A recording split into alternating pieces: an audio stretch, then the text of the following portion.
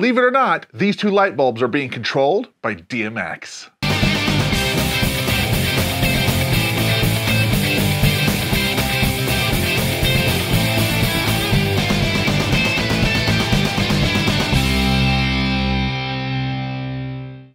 Recently, test subjects was hired to work on some rooms that had some Hue light bulbs inside of them. The problem with Hue light bulbs and smart lights in general is there's no real plug and play way to get them to do things on a trigger, at least not easily. And so we thought to ourselves, hmm, I wonder if somebody has created some DMX light bulbs.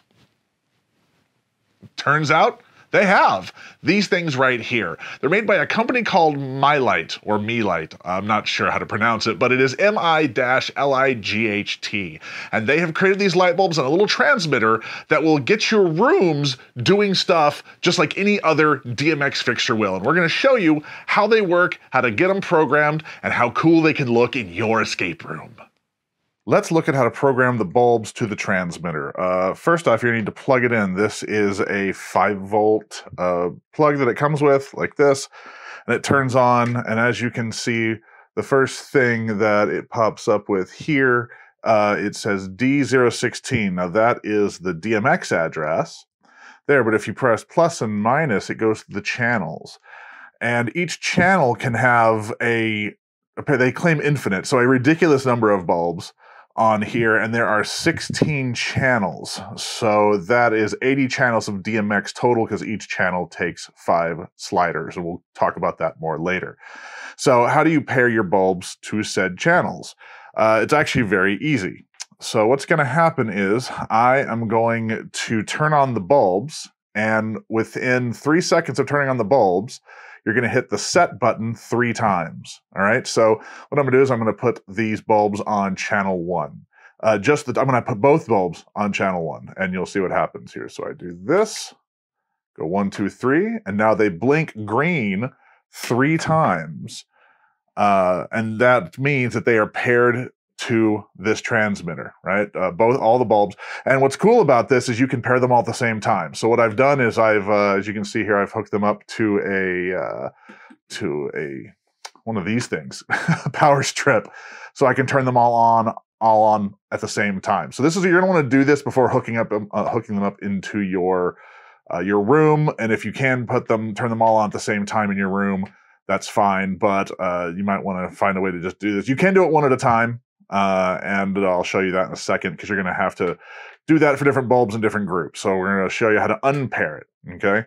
So to unpair the bulb, what I'm going to do is I'm going to turn it on, same thing, and I'm going to hit the set button five times. One, two, three, four, five. So now it blinks red five times, which means unpaired. Now, here's what I'm going to do. I'm going to place this bulb on channel one, this bulb on channel two. So I've got the thing set for channel one here, and I'm just going to turn this bulb off. I'm going to turn this bulb back on. One, two, three. So now this bulb is only paired to channel one right now. Okay. Now I'm going to go and I'm going to hit channel two, which is that's channel 16, channel two right there. And I'm going to turn this one off and turn this one back on and do the same thing. One, two, three. So now this bulb is on channel two, this bulb is on channel one. It's that easy to program these things and get them all on the right channels. Okay. So this is the thing you want. You don't have to have this hooked up to DMX or anything like that. This is just the programming phase to get them where you want. So kind of figure out what bulbs you want. You can obviously add bulbs or take bulbs out as you see fit. You just have to know how to do it. So uh, this is step one. And now let's talk about how to wire this up to the DMX. Let's talk about how to get this into your DMX chain. I'm using a FlexMax, but there are other controllers out there, Arduino, I'm sure there's PLC and uh, some other stuff that can control DMX, but this is what we use. This is what the video is about, okay? So if you have a FlexMax 2, you're gonna just plug the ethernet cable here uh, into the DMX out, and you're gonna need to get one of these DMX uh, to, to uh, Ethernet cables here, okay? Now, here's the thing. These are not all created equal. I bought like four of them and the three of them did not work, okay? Because they were wired differently or they were wired not even for Ethernet. It was very strange. So this is the one I have found that works the best uh, for so far. And so I will leave a link in the description for this. But this is going to plug into your Ethernet cable here like that. And then you will take and plug this into your thing.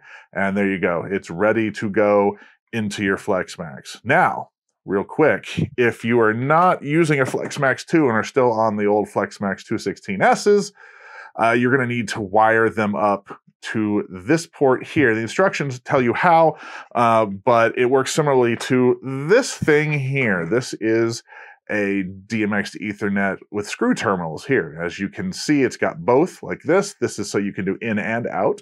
And as you can see here, uh, I have the, let me get a little closer on that so you can see it. The brown twisted pair is wired to ground. The orange is wired to D negative or on a or if you're on here, it'll be, uh, where is it, two negative. And then over here is D positive, which is three positive over here on the on that old FlexMax. So that's kind of the wiring standard there you're using here with the Ethernet cable. So if you need to make one, that's kind of what you're going to have to do like that. If you want to make one, obviously you can just buy one of these and make your own cable. If you are that kind of person who knows how to do that stuff and likes to do that stuff, you can get these little ends and just make your own cable. But uh, as I said, the easiest thing that I have found is just using one of these cables here and this thing here. And I guess eh, the easiest, easiest thing is if you already have DMX fixtures in your room, you can just take your light or whatever fog machine and whatever it is and stick it into the DMX out of your system like this and then then that's it. That put that at the end of your chain, and that would probably be the easiest easiest thing. But next to that, if you just want to use the light bulbs, uh, you're going to want to use one of these cables right here.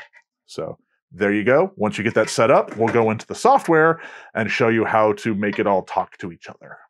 Here's how you're going to program your transmitter on the DMX here. You go to add DMX slave, DMX device, and you create a custom show here. Now, I've already done it, uh, but I'm going to walk you through it right here. So you want channel one through five. Uh, channel one is red, channel two is green, channel three is blue, channel four is natural white, bright white, and uh, number five is warm white. You can name these whatever you want. Over here, you can set the color for whatever you want. Uh, don't worry about mask. And over here, you've got the value, which most people start at zero. You can start it anywhere, but zero is, is good. Now, this is if you just want to do one light bulb right here, right? If this is just one light bulb on one channel, then this is all you need. Uh, or multiple light bulbs on one channel is what I should say. One through five is one channel. This is channel one on the transmitter right here. And if you go down, I'll show you here on this one. This is bulbs on channel one and channel two. So you see one through five is what we set up, and then six through 10 is here. So if you were to do 11 through 15, that would be channel three and so forth all the way through. So uh, you can have multiple bulbs on one channel. They say infinite bulbs, which I don't think we can test that, but uh, you get what you get the idea. And then, of course, uh, you can have that way you can group bulbs individually or uh, together, right? So you would uh, create your uh, your your fixture and you would add it, and it would come down here, and it would get the DMX address, and you would set the DMX address on the transmitter. And uh, if you're just doing the single bulb, the one channel, uh, then you I'm going to use the um, the virtual console here so you can see here in the pop up the bulbs. I'm just controlling the bulbs here to do whatever colors I want, like this. You can see like that. Uh, the one downside this thing has is it doesn't have a whole brightness sliders. So that is that is the one downside to this, but yeah, there are workarounds for that. So there's that. And then of course there's your natural white, which is very bright. And then here's your warm white, which is your typical, you know, warm white. Uh, now Again, if you're controlling multiple bulbs, so you would go here, so that you would set this bulb to whatever color you want, and then you would come over here and you would do the same thing on this bulb, because this is on channel two. It's a separate channel entirely. So you could have your, uh, you could have, uh, let's, let's just crank this all the way. That's a purple right there. It's a very bright purple. Let's crank that down a little bit. There we go, like that. And so this way you can control different bulbs uh, like that. Now, let's say you want them to do something, some sort of uh, flicker or something like that. Well, over here, I've already got that set up. You can see here that I have each bulb set to flicker at a different uh, different color, but they are this repeating the same pattern, and I'll show you why in a second. So if I do this, you can see the bulbs are now flickering for whatever reason, like that. Now, if you were to come over here and change that frequency, like if I do uh, this, this is flicker effect that we're, we're running here, uh, you can live preview this. You can see how the color of the bulb changes there. Uh, the, uh, the, the, the blue turned green sometimes there on the screen.